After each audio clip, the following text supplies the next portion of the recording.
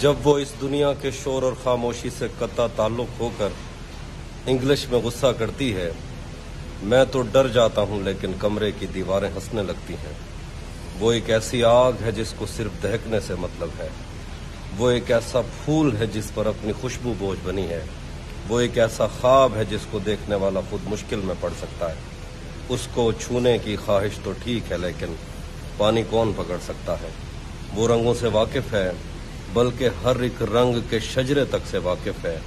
हमने जिनको नफरत से मंसूब किया, वो उन पीले फूलों की इज़्ज़त करती है। कभी कभी वो अपने हाथ में पेंसिल लेकर ऐसी सतरें खींचती है, सब कुछ सीधा हो जाता है। वो चाहे तो हर एक चीज़ को उसके असल में ला सकती है, सिर्फ़ उसी के हाथों से दुनिया तरतीब में आ सकती है। हर पत्थर उस पाँव से टकराने की ख्वाहिश में ज़िंदा, लेकिन ये तो इसी अधूरेपन का जहाँ है। हर पिंजरे में ऐसे कैदी कब होते हैं? हर कपड़े की किस्मत में वो जिस्म कहाँ है? मेरी बेमकसद बातों से तंग भी आ जाती है तो महसूस नहीं होने देती।